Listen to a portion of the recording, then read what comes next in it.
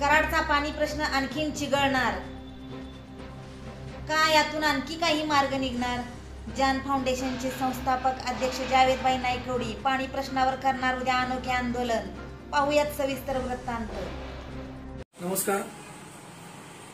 आज कराड नगरपालिका यांनी जो बैठकीमध्ये निर्णय घेतला की कराड शहरामधील पाणी प्रश्न चिघळत चाललेला आहे आणि याच्यावर ठोस निर्णय म्हणून पालिकेने आज जो निर्णय घेतला की आलेल्या बिलामध्ये पंधरा टक्के कपात करण्यात येईल. पंधरा टक्के कपात म्हणजे कराडकरांना दिलेली ही भीक आहे.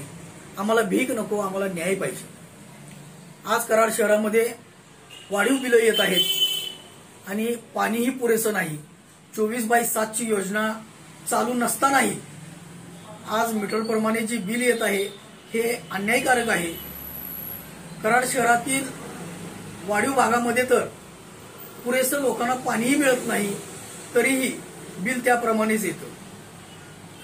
मलकापूर शहरामध्ये जे पाण्याचं बिल आहे त्याच्यापेक्षाही अनेक पटीनं कराड शहरातील बिल आहे. हा कराडकरांच्यावर एक होत असलेला अन्यायच आहे.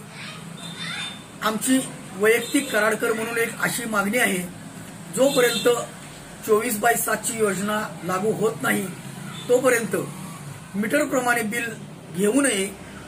जसे पूर्वी वार्षिक बिल येत होते त्याचप्रमाणे वार्षिक बिल यावे. चोवीस बाय चोवीस बाय सातची योजना झाल्यानंतर हे मीटरवरील बिल लोकांना मान्य होईल. तेही योग्य पद्धतीनं बिल असावं हीच कराडकरांची मागणी आहे.